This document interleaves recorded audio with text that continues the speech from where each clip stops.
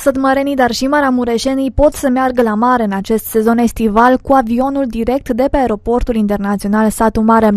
Primul zbor spre litoral a avut loc astăzi, 3 iulie, cu un grad de ocupare de 47 din 48 de locuri. Cursele se desfășoară cu două frecvențe săptămânale în zilele de marți și vineri cu plecare din Satu Mare spre Constanța, spre aeroportul Mihail Cogălnicianu la ora 9 și din Constanța spre Satu Mare la ora 11 și 5 minute, informează Consiliul Județean Satu Satu Mare. Durata zborului este de o oră și 40 de minute. Cu prima cursă au plecat spre mare atât sădmăreni cât și băimăreni care s-au bucurat enorm de posibilitatea de a ajunge într-un timp atât de scurt pe litoral, au anunțat azi oficialii Consiliului Județean Satu Mare. Biletele pentru cursele Tarom s-au pus în vânzare începând cu data de 1 iunie. Acestea pot fi achiziționate la prețuri începând de la 40 de euro dus întors, preț ce cuprinde un bagaj de mână, unul de cală, cateringul la bordul aeronavei, precum și check-in-ul.